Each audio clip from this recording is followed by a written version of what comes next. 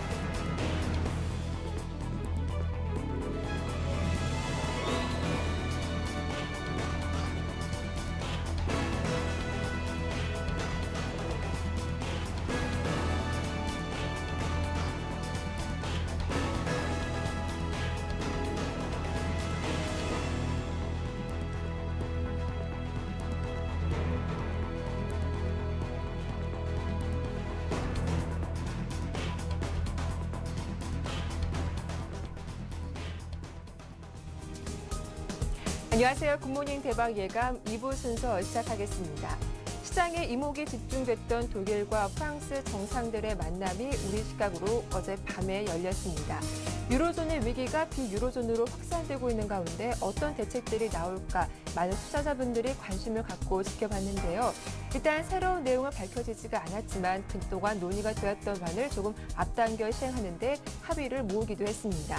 자, 어제 유럽발 악재가 다시 고개를 들면서 국내 증시는 혼조세를 보였는데요. 코스피는 하락 마감한 반면 코스닥은 여러 악재에도 불구하고 반등으로 마감하기도 했습니다. 자세한 마감 상황 정리해보고 오늘장 전략 본격적으로 세워보겠습니다. 자, 어제 코스피는 투자 심리가 얼어붙으면서 외국인의 매도가 지속적으로 출회되기도 했습니다. 프로그램 매볼, 매물도 더 강하게 지수에 부담이 되기도 했는데요. 어제 코스피는 나흘째 하락세를 보이며 1826선의 약세로 마감을 했습니다. 반면 코스닥은 정치권 테마주에 대한 강도 높은 조사에도 불구하고 코스닥은 하루 만에 반등했는데요. 이 관련 선거주는 폭락했지만 바이오 관련주가 급등하면서 시장이 또 호재가 되기도 했습니다. 어제 코스닥은 520선 다시 회복하면서 마감을 했습니다. 있습니다.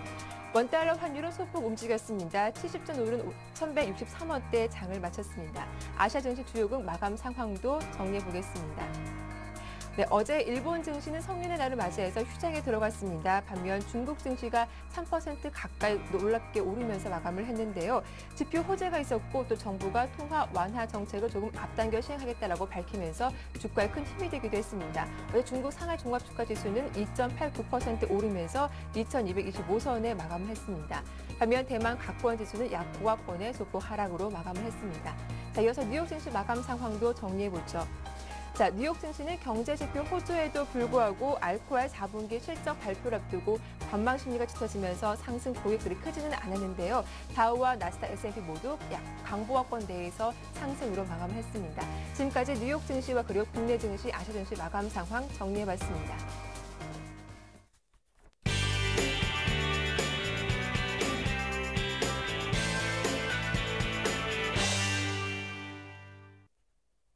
자, 이제 오늘의 성공 전략을 세워보는 마케팅 포커스 지금 바로 시작을 해보겠습니다. 청송촌돔 신창환 대표님 화상으로 만나보죠. 안녕하세요. 예, 안녕하십니까. 전국 시청자 여러분. 그리고 미모가 출중하고 지덕체를 겸비한 방이랑 반갑습니다. 청송촌돔 신창환입니다. 예, 반갑습니다. 네. 자, 하루 동안 잘 지내셨나요? 예, 어제는 네. 뭐 어, 저점 주식 매수하라고 떠들었는데 네.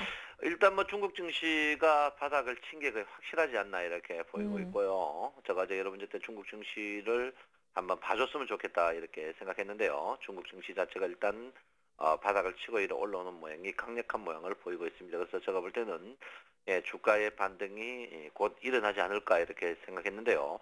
어, 제 종합주가 지수가 여러분 보다시피 아래꼬리 길게 달면서 주가 반등하는 그런 모양을 강력히 보였습니다. 그래서 제가 볼 때는 어, 제 여러분에게 제가 주식을 저점 매수 기회다 이렇게 했는데 어제 주식이 1809에서 종가를 땡기면서 여러분 아다시피 1826까지 상승하는 그런 모양을 보였습니다. 에, 제가 볼 때는 일단 주가는요 어, 추가적으로 1800 이하는 하방을 이탈하지 않을 걸로 저는 예상하고 있기 때문에 어, 제가 볼 때는 주식이 오늘은 뭐 괜찮지 않을까 이렇게 생각하고 있고요. 어, 일단 장 자체가 극한다고 주가가 크게 상승할 것이냐 그거는 절대 아니다 이렇게 저는 보이고 있습니다. 아 그래서 여러분 시청자 여러분께서 어제 이제 크게 보시면 제가 여러분에게 이제 말씀드렸던 에너지 4인방 중에 두 개 주식이 큰 폭의 상승을 보였고요. 그 반면에 얘가 제가 여러분에게 손대지 말라고 했던 주식 어, 테마 주들이 어제 한마디로 코피 터지는 그런 장세를 보였습니다. 그래서 어, 저는 그렇게 생각합니다. 아, 중국 증시가 척도다 이렇게 보거든요. 어, 물론 뭐 유럽 증시나 미국 증시 지금 혼자 보이고 있는 그런 국면이 있는데 에, 제가 볼 때는 일단 어, 저희 그 중국 증시의 반등 이 부분은 제가 볼 때는 굉장히 좋게 봐야 되지 않나 이렇게 보고요. 음. 자 다우존스 지수 제가 이제 중국 증시는 좋아질 것이니까 아, 중국 증시는 좋아질 것이니까 다우존스 지수를 보라 했는데 다우존스 지수가 지금 여러분 보다시피 어, 6일째, 5일째 지금 어, 횡보 모양을 보이고 있습니다. 근데 그 이 5일 사이에 실업자 지수라든지 소비자 지수 이런 것들이 계속 좋게 나온 모양이거든요. 근데 좋게 나왔는데 주가의 상승이 굉장히 힘들어가는 그런 모양을 보이고 있습니다. 그래서 제가 볼 때는 일단 어, 미국 지수가 바닥에서 65일 반등했기 때문에 제가 볼 때 일단 분명히 쉬어가는 자리다 이렇게 보이기 때문에 에, 우리나라가 저- 그 제가 볼 때는 이제 악재 에, 세계 글로벌 악재는 다 받는 그런 모양을 보이고 있거든요. 그래서 에, 상해 증시의 반등 이 반등 자체가 오늘 또 연장된다면 주식은 10시 전후해서 주가는 아, 반등하지 않을까 좀 상승하지 않을까 이렇게 생각하고 있습니다. 그래서 제가 볼 때는 예, 상해 종합 중국 증시의 반등 이 부분에 있어서 큰 의미를 둬야 되지 않을까 이렇게 음. 생각하고 있고요. 어, 제가 이제 최근에 볼 때 이제 공매도 부분에 대해서 한번 보실 때, 어, 외국인 이제 요 사이트가 이제 공매도 어제 이제 공매도를 얼마 했느냐, 아, 그 부분이 나오는 분야인데요.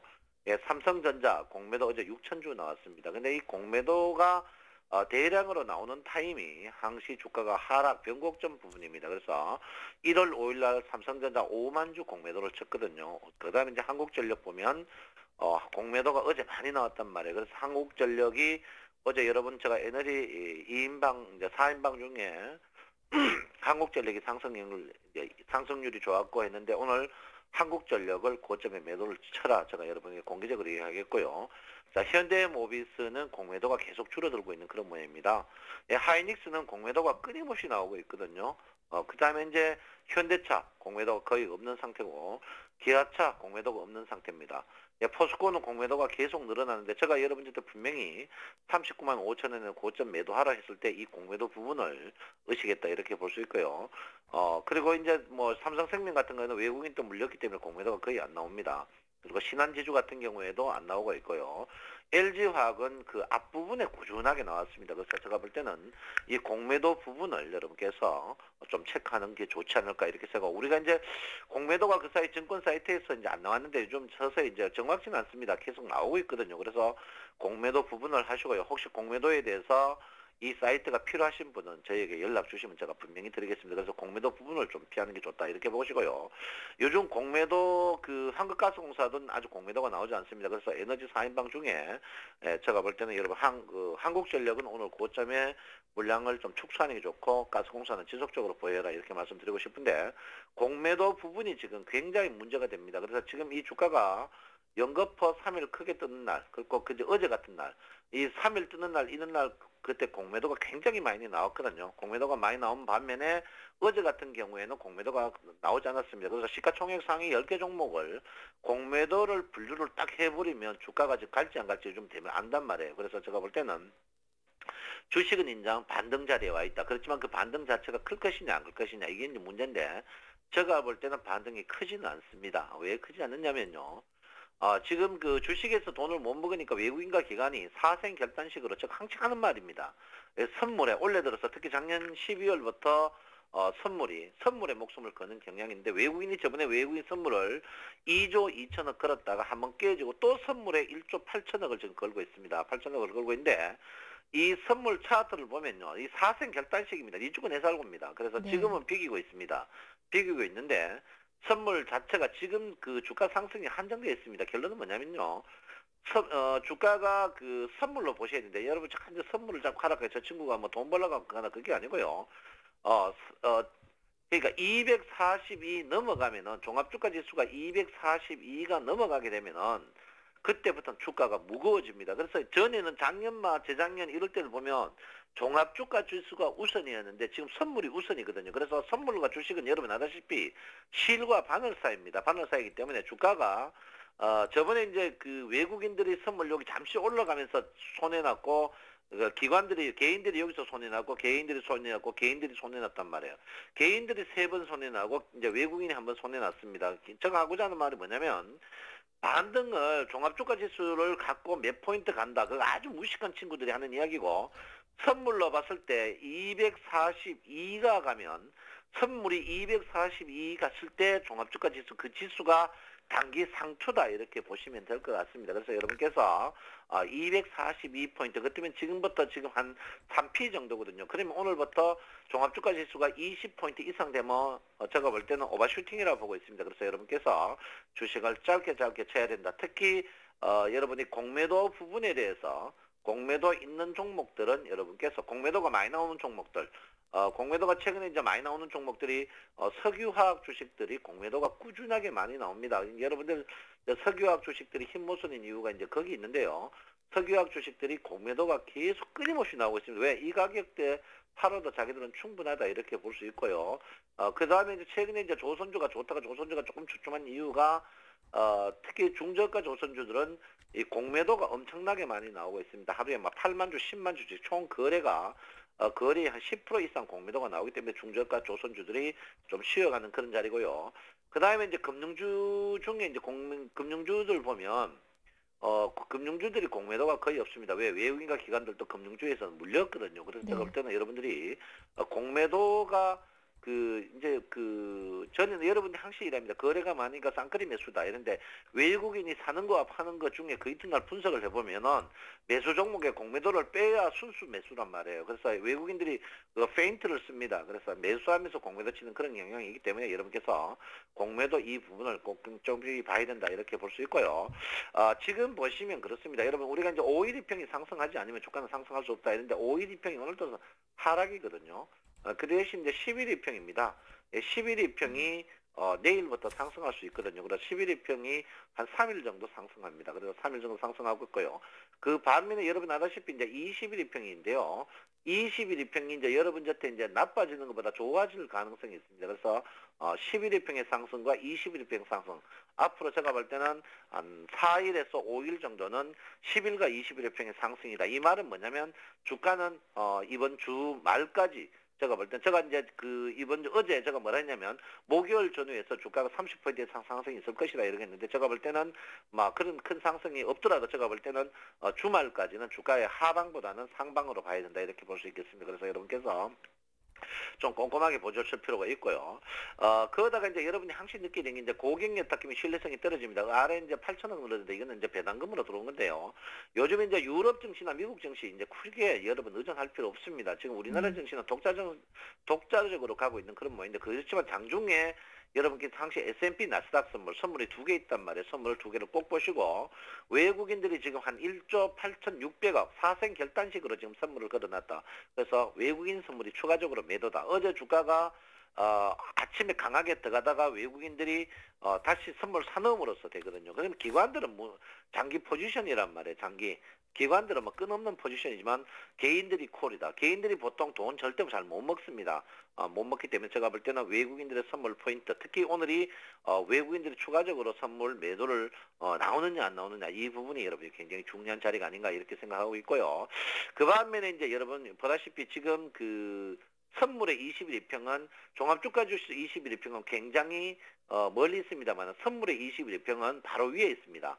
그래서 선물의 21평 여러분 보다시피 어, 지금 바로 위에 지금 종합 선물 지수의 바로 위에 있거든요. 과연 이 선물 지수를 뚫을 것인가? 그러니까 이 선물 종합주가 지수가 240입니다. 240을 뛰어넘느냐 안 넘느냐 굉장히 중요합니다. 그래서 첫 번째는 제가 외국인의 선물 포지션을 보고 두 번째는 어, 선물 지수가 240을 넘느냐 안 넘느냐 세 번째는 당연히 중국 증시겠죠. 그래서 요 세 가지 포인트를 보시면 여러분이 꼼꼼하게 보실 수 있지 않을까 이렇게 생각하고 있고요. 예, 장 자체가 호락호락하지 않습니다. 지금 그 종합주가 지수가 올라가더라도 오늘 바로 21일 평이 1840이거든요.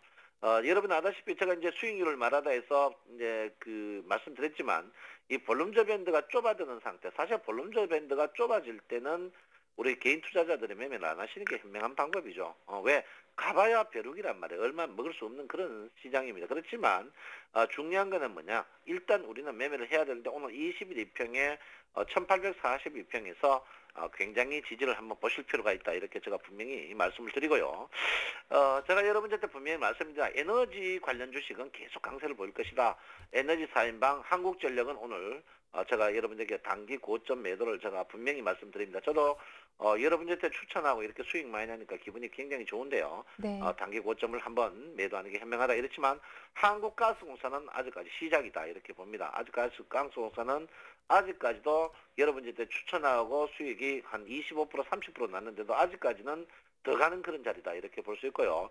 어, 일단 여러분 보다시피 이제 그 사이 좀 쉬었던 한전 기술이라든지 에너지 사인방 한전 기술 어, 서서히 오늘 매수 타임에 오지 않았나 이렇게 보고요. 그 다음에 이제 두산중공업입니다. 어, 두산중공업도 어, 하방 이탈에서 돌아온다면은 저점 매수 자리가 아닌가 이렇게 생각하고 있습니다. 그래서 에너지 관련 주식들은 여러분들께서 계속 봐야 되는데 어제 이제 국제 뉴스 중에 이제 호르무즈 해협의 이제 봉쇄인데 인- 이스라엘이 호르무즈 부- 이제 봉쇄 봉쇄가 제가 볼 때는 좀 어렵지 않을까 이렇게 생각합니다. 그래서 유가주도 유가주들이 만약에 호르무즈 주- 어, 협에 이제 그 이야기가 나오고 유가주가 반등한다면 그 타임을 네. 이용해서 여러분들도 유가주를 어, 과감하게 고점에 매도 치는 그런 현명함이 필요하지 않나 이렇게 어. 보고요. 그 다음에 여러분 아다시피 이제 어제 코스닥 주식들이 여러분이 제가 이제 만지지 말했던 코스닥 주식들이 한마디로 어, 한마디로 코피 터지는 그런 모양을 보였습니다. 그래서 예, 오늘 또 제가 볼 때는 그 코스닥 관련 주식들이 코스닥 주식 중에 대선 관련 주식인데요. 어, 코피 터지지 않을까 이렇게 보입니다. 여러분 만지지 마세요. 응? 정치가들은 누구도 못 믿습니다. 아, 여러분 믿을 거는 뭐니 뭐니 캐도 여러분 계좌에 현금이 뭐 있는 거지. 나는 정치가를 믿고 주식 사는 사람이 제일 바보가 아닌가 생각합니다. 그래서 저 여러분 네. 제가 볼 때는요 말 제일 잘하는 사람이 정치가입니다. 그렇지만 네.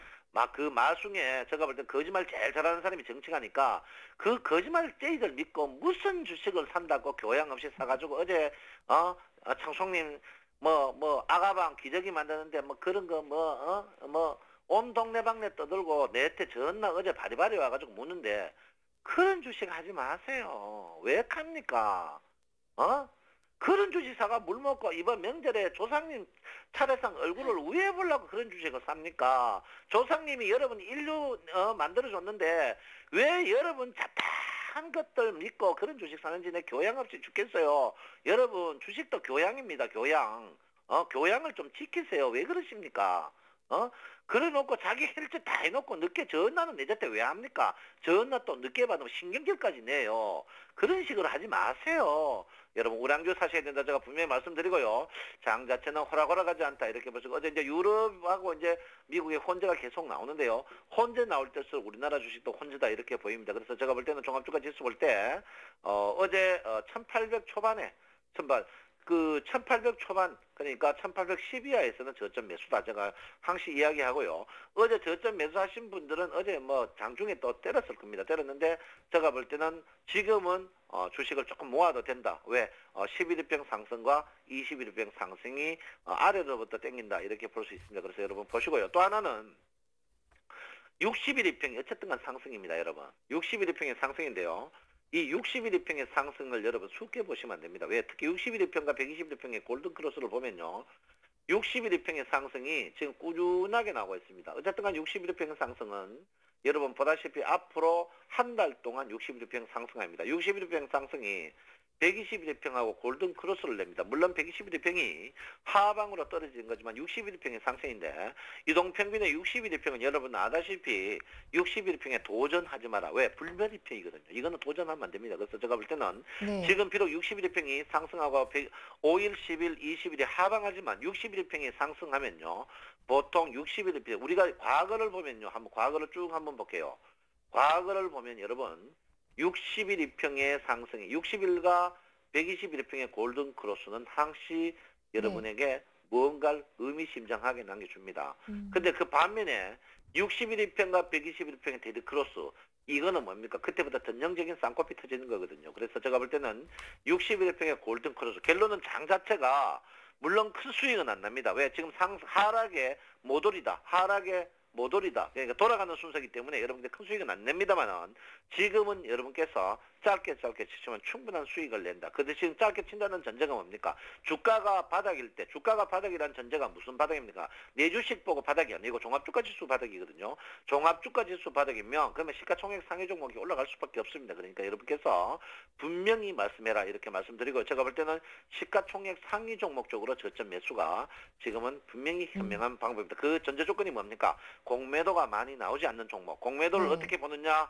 하면 연락 주시면 제가 알려드릴 테니까요. 네. 공매도가 적은 종목 중에 시가총액 상위 종목 쪽은 어, 서서히 매집하는 게 현명하다 이렇게 볼 수 있고요. 외국인과 기관, 특히 기관과 외국인이 요새 쌍끌이 매수란 말 절대 믿지 마십시오. 예, 네. 외국인과 기관들이 요즘에 선물에 집중 투자하기 때문에 주식은 굉장히 등하시 여긴다. 그래서 전체적으로 거래량이 적다는 것을 여러분께 명심하시고 공매도 종목, 신용 종목 피하고 우량주 사는 현명함이 여러분에게 꼭 필요한 어, 포인트가 아닌가 이렇게 생각하고 있습니다. 네, 오늘 좀 공매도가 적게 나오는 시가총액 상위 종목군 위주로 저가 또 분할 매수 가능하다라는 의견까지 잘 들어봤습니다. 지금까지 청성촌놈 신창환 대표와 함께했습니다. 말씀 고맙습니다. 예, 감사합니다. 정천우 신창입니다. 네, 이어서 샘플러스 라인업 함께하겠습니다.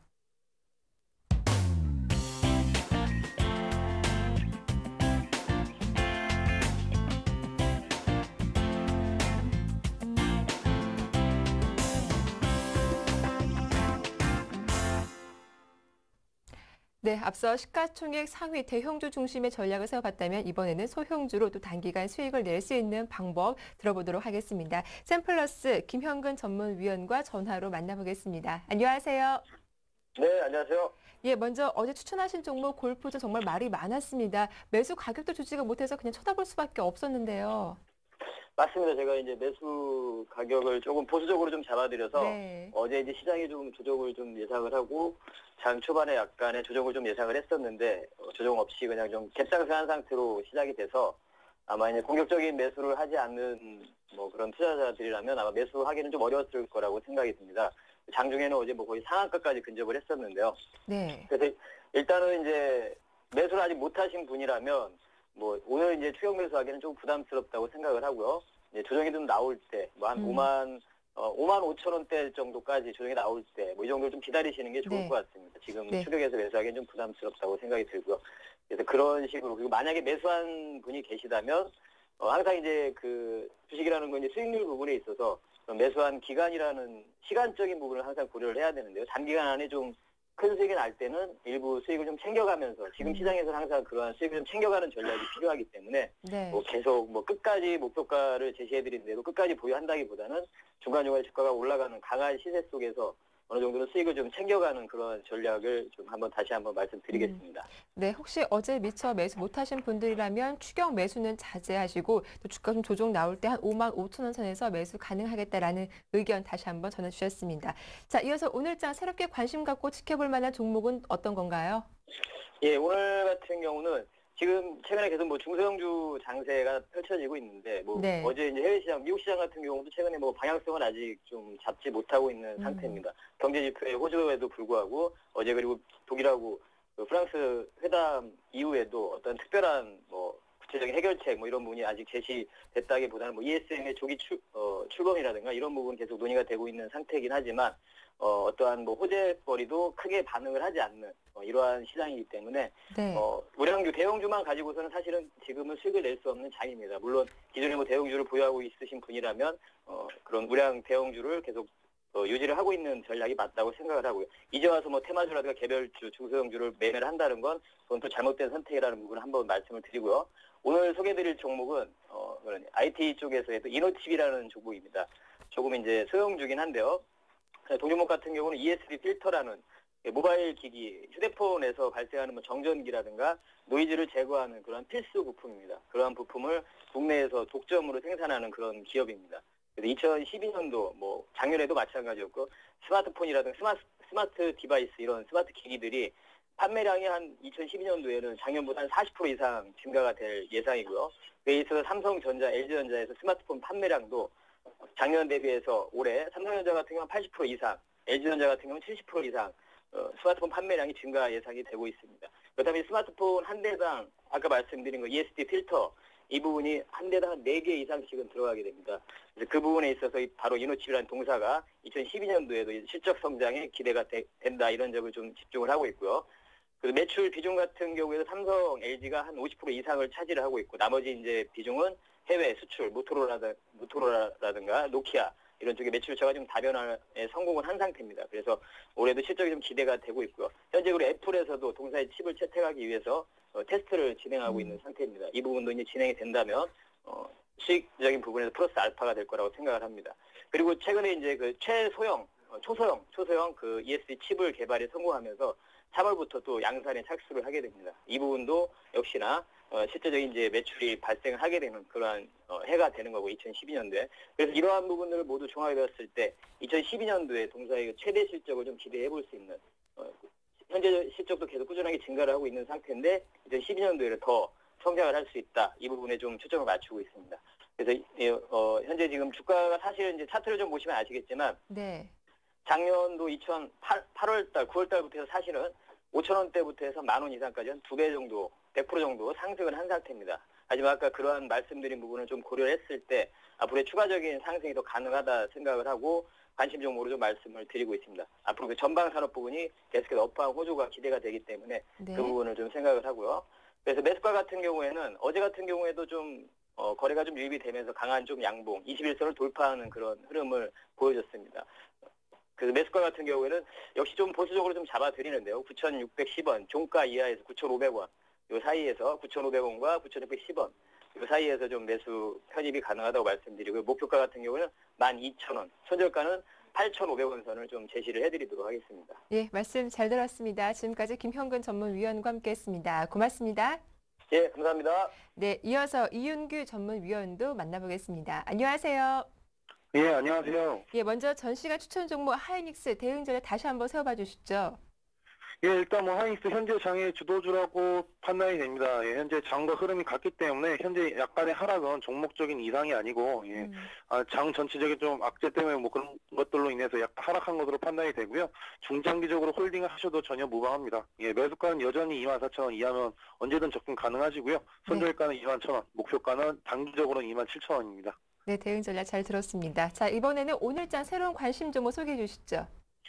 예, 금일의 관심 종목은 뭐 이전에 제가 대형주를 드렸기 때문에 네. 똑같은 IT긴 하지만 예, 약간은 중소형으로 좀 내려가 봤습니다. AP 시스템을 가져와 봤고요. 음. 뭐 AP 시스템은 일전에도 한번 말씀드렸던 것처럼 예, 아몰레드 관련된 사업을 또 하고 있고 최근에 또 바이오 관련된 산업과 예, 뭐 대선 테마 등 여러 가지 호재가 있고요. 그리고 최근 이제 또 스마트 TV 관련된 테마로 오늘 뭐 전시회가 또 있죠. 예, 국제 뭐 국제적인 전시회가 또 있기 때문에 여러 가지 좀 IT 쪽 호재라고 좀 판단이 돼서 AP 시스템을 좀 들고 와 봤습니다. 그리고 현재도 이제 외국인과 기관의 수급이 흐름이 아주 좋은 상태고요. 또한 또 많은 분들이 또 좋아하시는 기술적인 흐름이 이제 또 들어올 것 같아서 전체적으로 좀 차트 좀 좋게 좀 만들어질 것 같은 판단이 좀 들어서 오늘 좀 바닥권이긴 한데 좀 한번 가져와 봤습니다. 또 위험한 요소가 좀 있긴 하지만 포트에 이제 많이는 아니고 일부분이라면 좀 접근하셔서 기회를 좀 살려보시는 것을 권해드리고 싶고요. 중기적인 매집보다는 좀 단기 trading으로, 예, trading 종목으로 예, 접근을 하시면 될 것 같고 제시해드린 매수가는 예, 13,650원에서 13, 아니, 13,500원입니다. 그리고 목표가는 단기적으로는 15,500원이고요. 손절가는 12,500원 제시해드리도록 하겠습니다. 네, 단기 trading으로 접근 가능한 AP 시스템 오늘의 관심 종목으로 들어봤습니다. 도움 말씀 고맙습니다. 예, 감사합니다. 네.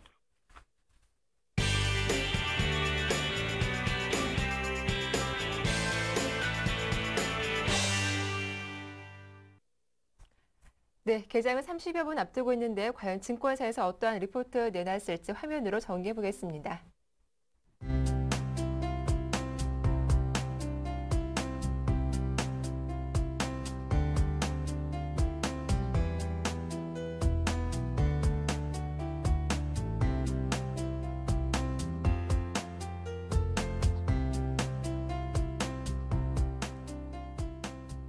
오늘은 우리 투자증권 투자정보센터 가서 이경민 책임연구원 만나보겠습니다. 안녕하세요. 예, 안녕하십니까. 네, 오늘 리포트 내용이 지수 하방 경직성을 뒷받침하는 요인들이라고 하셨는데 어떤 내용인지 소개해 주시죠.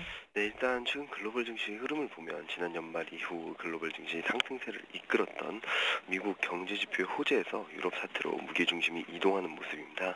어, 이런 가운데 지난주 중반 이후 불거지고 있는 유럽발 불확실성은 어, 글로벌 증시 전반적으로 부담이 되고 있는 상황인데요. 어, 새로운 재정 통합에 합의한 이후로도 어, 사태가 개선되기보다는 이탈리아, 스페인, 헝가리 등으로 위기가 확산되는 모습을 보이고 있고요. 어, 무엇보다 22 3년 만기 대출 프로그램 가동 역시 어, 큰 효과를 보지 못하고 있다는 점에서 이제는 이제는 좀 더 전향적인 대책을 모색할 시점이라는 평가가 나오고 있습니다. 어, 일단 휴가 중이던 독일 메르켈 총리가 돌아오면서 유럽 주요국 정상회담이 연달아 열릴 예정입니다. EU 재무장관 회의와 그리고 EU 정상회의 앞서 이견을 사전 조율하는 회의가 될 것이란 될 것인데요. 이러한 점에서 어, 이런 부분들의 일일비하는 시장 다- 시장 흐름이 단기적으로는 불가피할 것으로 보이고 있고요. 하지만 이런 단기적인 불안정한 움직임에도 불구하고 최근 극단적인 시간까지 유가 대두되고 있는 국가 신용등급 강등 이슈라든지 그리고 주요국 채권 국채 국채 발행 일정을 전후로 한 불안 심리로 인해서 단기적으로 움직일 수 있겠지만 추가적인 지수 급락을 유도할 정도의 혼란은 나타나지 않을 것으로 보고 있습니다. 어, 무엇보다도 미국에 이어 중국발 모멘텀이 어, 중, 국내 증시 하반경 지성에 힘을 실어줄 것으로 보이고 있고요.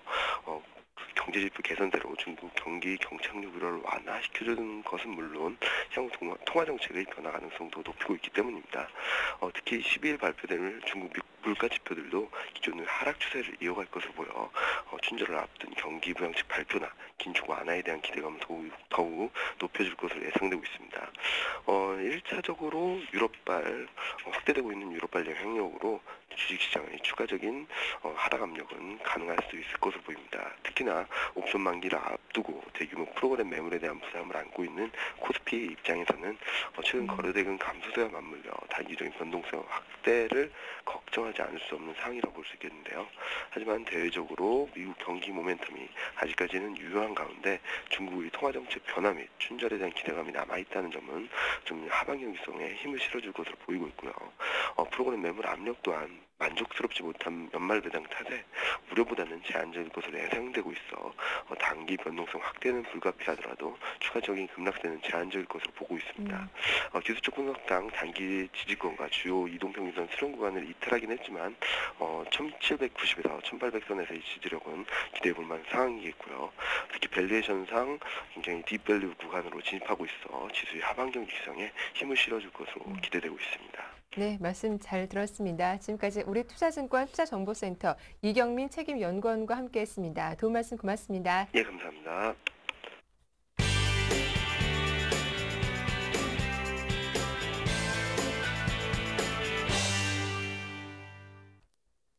네, 오늘 장의 꼼꼼한 실전 투자 전략을 세워보는 오늘의 대박 전략 시작하겠습니다. 자, 오늘 순서는 라이든스탁의 홍희진 팀장과 함께하겠습니다. 안녕하세요. 네, 안녕하십니까.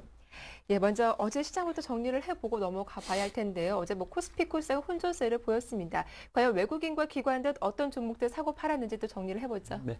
어, 일단 간단하게 좀 말씀드리면요. 어저께 시장 상당히 좀 장 초반부터 약세를 좀 보였습니다. 그러니까 지난주 금요일 상당히 그 뉴욕 시장이나 뉴, 어, 뉴욕 시장이 그렇게 나쁘지 않았음에도 불구하고 우리나라 시장이 장 초반부터 좀 급락을 보여서 네. 당황하신 분들이 상당히 좀 많았을 거라고 생각이 되는데요. 일단은 프로그램 영향이 상당히 좀 컸다라고 지금 말씀을 드릴 수가 있을 것 같고 이번 주 이제 옵션 만기가 예정이 되어 있습니다. 이제 그런 만큼 프로그램 매도는 좀 추가적으로 좀 출회될 수 있기 때문에 좀 그러한 부분을 좀 체크를 해보시되 얼마만큼 좀 지지가 좀 잘 되는지가 좀 더 중요한 그런 지금 한 주가 되지 않을까 좀 말씀드려보도록 하겠고요.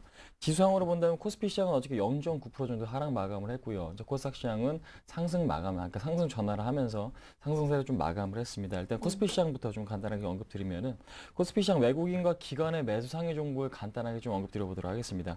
외국인 같은 경우는 시장 전체를 봤을 때 한 700억 정도, 그러니까 750억 정도 순매도를 좀 보였죠. 그러니까 장중에 한 1,500억 가량 순매도를 보인 것을 지금 비교를 해본다면 그 매도폭은 상당히 좀 줄이면서 좀 마감을 했다라고 지금 보실 수가 있을 것 같은데 어, 외국인 같은 경우는 한국전력 한 170억 정도 순매수를 보였습니다. 그 다음에 현대모비스, 현대차, 오리온, SK이노베이션 등을 일단은 순매수를 했죠. 보시면 아시겠지만은 최근에 현대모비스에 대한 지분 매입이 아, 상당히 좀 많이 이루어지고 있는 거 확인하실 수 있을 것 같습니다. 그러니까 지수가 하락하면 하락할수록 현대모비스에 대한 지분 증가는 계속해서 좀 이루어지고 있기 때문에 앞으로 시장이 좀 상승을 하게 될 경우에는 현대모비스가 일단은 좀 주도 업종이 될 수 있다. 그러니까 주도주가 좀 될 수 있다라는 부분, 어, 그 주도주가 될 수 있기 때문에 그런 부분을 좀 주, 집중을 해서 좀 네. 바라볼 필요가 있지 않나 좀 말씀드려보도록 하겠고요. 음. 현대차 같은 경우도 지속해서 지금 지분 매입이 이루, 어, 지분 매입이 이루어지고 있는 부분도 상당히 좀 긍정적이다 지금 말씀드려보도록 하겠고요. 그 다음 지금 SK 이노베이션의 SOE 같은 경우, 그러니까 정유 업종에 대해서는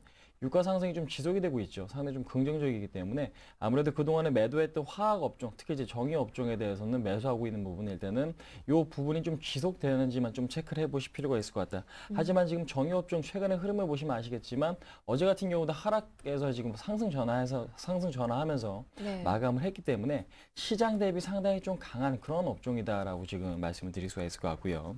그다음에 지금 기관 쪽에서는 삼성전자, LG전자, SK이노베이션, LG디스플레이, 현대차 등 일단은 상위 랭크가 되어 있습니다. 매수 상위 랭크가 되어 있는데 어, 삼성전자 같은 경우는 실적 발표 이후에 기관의 매수는 지속적으로 좀 이루어지고 있다는 부분은 그나마 좀 다행스러운 부분이다라고 좀 말씀드리겠고요. 그다음 에 LG전자 같은 경우는 아직까지는 뭐 실적 개선세가 뚜렷하게 나오고 있지 않은 부분은 일단은 우려스러운 부분이긴 하지만 기관의 지금 매수가 좀 지속이 되고 있다는 부분은 이제 앞으로의 실적이 좀 개선될 수 있다라는 기대감은 좀 반영이 되고 있, 바, 아, 어느 정도 좀 반영이 되고 있는 것 같습니다. 그렇기 때문에 기관의 매수가 LG전자 쪽으로 좀 지속이 될 경우에는 일단은 긍정적인 좀 시각으로 LG전자를 좀 바라보셔도 크게 무리는 없겠다라고 좀 말씀드리겠고 그다음에 SK이노베이션 같은 경우는 100억 정도 순매수 어, 그다음에 지금 LG디스플레이, 현대차 같은 경우는 외국인과 좀 비슷하게 일단은 순매수에 좀 가담을 하고 있다라는 걸 확인하실 수가 있고요. 그러니까 지금 자동차 같은 경우에는 외국인과 기관의 쌍끌이 매수가 같이 좀 일어나고 있는 업종 중에 하나다라고 지금 보시면 될 것 같고요. 그다음에 지금 코스피 시장 외국인과 기관의 매도 상의 종목 간단하게 좀 언급드리자면요. 삼성전자가 지금 어저께 같은 경우도 1021억 정도 순매도를 보였죠. 그러니까 지금 3일 연속. 그러니까 지금 계속해서 외국인이 지금 매각을 하고 있는데 아무래도 삼성전자에 대한 부정적인 시각인지 아니면 지수 관리 차원에서 종목들, 그러니까 시가총액 큰 종목들을 일단은 매도시키는 경우가 있거든요. 그렇기 때문에 시장이 안정돼 봐야 어느 정도 외국인의 지금 포지션은 좀 이해할 것 같습니다. 그러니까 삼성전자가 상투로 인해서 계속해서 좀 매각이 나오는 것인지 아니면은 지수 관리 때문에 삼성전자 하나만을 일단은 큰 폭으로 좀 매도를 시키는 것인지 그 부분은 좀 아직까지는 좀 알 수 없기 때문에 조금 더 지켜보면서 삼성전자에 대한 외국인의 지금 어, 심리를 좀 파악할 필요가 있겠다. 하지만 지금 외- 어, 지속적인 천억 원 이상의 매도는 상당히 좀 부정적인 요인이다라고 아, 부정적인 요인이다라고 좀 말씀드리겠고요. 그다음에 LG전자 같은 경우는 370억, OCI 한 200억, 그다음에 이제 호남석유, 현대건설 같은 경우는 일단은 외국인이 계속해서 좀 팔고 있죠. 보시면 아시겠지만 OCI 같은 경우는 계속해서 좀 지분 감소가 일어나고 있습니다. 그러니까 지금 이런 측면에서 봤을 때 아직까지는 OCI에 대한 주가가 지금 어, 바닥이다라고 놀아나기에는 상당히 좀 이른 시점이 아닌가. 그러니까 왜냐면은 외국인이 매도를 하고 있는 상황에서 기관까지 같이 좀 매도를 하는 상황이 발생되면은 좀 급락이 나와줄 수도 있기 때문에 외국인이 좀 장기적으로 좀 지분 매수가 좀 들어오는 부분이 아무래도 그 바닥 시점이 아닌가라고 좀 말씀드려보도록 하겠습니다. 그 다음에 기관 같은 경우는 현대 어, 현대제철, KT, KB금융, 오리온, 기아차 등을 일단은 매디 매, 어, 일단은 상당히 좀 많이 매도를 했죠. 일단은 어, 오리온 같은 경우는 지금 외국인과 기관 같은 경우 손바뀜이 좀 일어나고 있고 기아차 같은 경우에는 현대차와는 좀 다르게 일단은 매도로 나오고 있지만은 그렇게 큰 물량은 아니기 때문에 일단은 크게 우려할 만한 수준은 아니다. 그래서 지금 기관의 매도 종목은 뭐 현대제철을 제외하고는 나머지는 뭐 크게 신경 쓸 필요가 없다. 근데 이제 현대제철 같은 경우는 어, 매도 속 매도 폭이 뭐 그렇게 큰 폭은 아니지만 일단은 좀 지속될 경우에는 주가 상승에 상당히 상당히 부담 요인으로 좀 작용할 수가 있겠다라고 좀 말씀드려 보도록 하겠고요. 그다음 코스닥 시장 같은 경우는 외국인과 기관의 매수 상위 종목 간단하게 좀 언급드리면요. 어저께 같은 경우는 코스닥 시장 밑꼬리가 길게 달리면서 양봉 마감했습니다. 상당히 좀 긍정적이었죠. 기관 같은 경우도 일단은 어, 수급상으로 봤을 때 플러스로 지금 마감을 했어요. 그런 그런 측면에서 봤을 때 아직까지는 코스닥 시장이 좀 더 강력하구나라고 이해하시면 될 것 같은데 네. 어, 외국인 같은 경우는 안철수 연구소 한 67억 정도 지금 매수를 보여주었죠. 음. 일단은 지금 정부 쪽에서 지금 테마주에 대한 단속을 좀 강화하겠다라는 뉴스가 나왔음에도 불구하고 외국인의 매수 상당히 좀 긍정적이다라고 보시면 될 것 같고 그다음에 지금 어저께 같은 경우 십자형 캔들이 좀 발생을 했죠. 그러니까 매도와 매수가 좀 팽팽한 시점에 지금 캔들의 모양이 좀 발생을 했기 때문에 안철수 연구소는 뭐 테마주에 관심이 있으신 분들이 좀 지속적으로 관심을 가져봐야 될 그런 종목이 아닌가라고 좀 말씀드려보도록 하겠고 포스코 ICT는 전고점이겠죠. 한 1,200원 정도까지 상승을 했습니다. 하지만 지금 돌파하지는 못한 상황에서 외국인의 지금 매수가 상당히 좀 큰 폭으로 들어오면서 주가가 좀 강하게 지금 상승을 하고 있는 걸 확인하실 수가 있을 것 같고요. 유비벨럭스나 KBT 이 종목들은 지금 전자카 그 지금 스마트 카드 부분에서 상당히 좀 시장 점유율이 좀 차지하고 있기 때문에 앞으로의 기대감이 상당히 좀 있는 종목들이다. 그래서 지금 외국인들의 지금 매수가 지금 지속적으로 좀 들어오면서 주가 상승 탄력이 상당히 좀 강해지고 있다는 거 확인하실 수가 있습니다. 그 다음에 지금 루멘스 같은 경우는 일단 최근에 흐름이 상당히 좀 좋아지고 있기 때문에 이 부분도 좀 주목을 해 보시고요. 그 다음 기관 같은 경우는 일단은 지금 엔터 관련주에 대해서 매수 상당히 좀 많이 해주고 있죠. SM이나 YG 엔터테인먼트, 그 다음에 로엔 같은 종목들. 일단 좋은 흐름 상당히 좀 보여주고 있고요. 그다음에 다음 같은 경우는 그동안의 주가 하락률이 상당히 좀 컸었습니다. 하지만 하락을 마치고 나서 단기적으로 지금 12만 원대에 바닥을 찍고 나서 주가는 다시 한번 상승 시도가 나오- 나오고 있는 만큼 긍정적으로 좀 바라보자. 그러니까 지금 기관들의 매수가 유입된다면 긍정적으로 바라보시면 될 것 같고 골프존 같은 경우는 겨울 수혜주겠죠. 아무래도 필드에 나가시는 분은 겨울에는 상당히 좀 그 횟수가 줄어들 수 있다라는 부분이 지금은 골프존에 좀 아, 사- 상당히 좀 메리트로 좀 작용을 하고 있는 것 같고 인터플렉스 같은 경우는 삼성전자 지금 핸드폰 분야에서 사상 세- 사상 최대 실적을 기록하고 있는 부분이 호재로 좀 작용하고 있습니다. 아무래도 지금 FPCV 부분에서 인터플렉스가 지금 국내 선두기 때문에 좀 그런 부분이 지금 모멘텀으로 작용을 하고 있다 이해하시면 될 것 같습니다. 네, 어제 정부가 테마주 집중 단속에 나서겠다라고 밝혔음에도 불구하고 이 외국인의 코스닥 매수 상위 종목에 안철수 연구소가 올라왔다라는 건 조금 특징적이지 않나 싶습니다. 이렇게 중소형주가 좀 더 강세를 보여주고 있는데 오늘 저희 어떻게 세워봐야 할지 궁금해요. 네, 그렇습니다. 제가 지금 네. 어제도 그렇고요. 그저께도 그렇고 주가가 조정 시에는 일단 저가에서 좀 가담하자. 그러니까 좀 네. 말씀을 드렸습니다. 근데 대형주겠죠. 그러니까 대형주 같은 경우는 현재 뭐 큰 수익을 목표로 지금 매수를 하시는 건 아니고요. 그러니까 매집 전략으로 좀 나서시면 될 것 같습니다. 그러니까 분할 매수로 나서시고 나중에 어느 정도 중소형주에 대한 조정이 나올 때 그때 이제 대형주가 지금 상승을 해줄 수 있는 그런 흐름이 연출될 것으로 좀 기대를 하고 있기 때문에 현재도 좀 마찬가지 흐름이 연출될 것 같아요. 그러니까 지금 1800선을 이제 강한 좀 지지선으로 여기시고 대응을 지금 하시면 될 것 같은데 금잡 시에는 분할 매수 관점이겠죠. 지금 차트 보시면 아시겠지만은 어, 일단은 지금 12월 달 말도 그렇고 이번에도 그렇고요. 지금 거래량이 뭐 크게 터지지 않은 상황에서 밑꼬리가 계속해서 좀 달리고 있겠죠. 그러니까 지금 매도 거래량은 상당히 좀 제한적인 구간에서 아래에서 지금 분할 매수하시는 세력들은 상당히 좀 많다라는 걸 확인하실 수가 있을 것 같습니다. 저 어제 같은 경우도 1800 근접 시에서 기관에 지금 저가 매수가 유입되고 있는 거 확인하실 수가 있고요. 그다음에 투신에 지금 매도해서 매수 전환은 상당히 좀 긍정적이기 때문에 저 그러한 부분, 그러니까 1800선 근처에서는 일단은 대형주 저가 분할 매수가 상당히 좀 바람직해 보인다라고 지금 말씀드릴 수가 같고 대형주는 아직까지는 뭐 상승시킬 수 있을 만한 모멘텀이 그렇게 많지 않다라는 게 가장 큰 악재고요.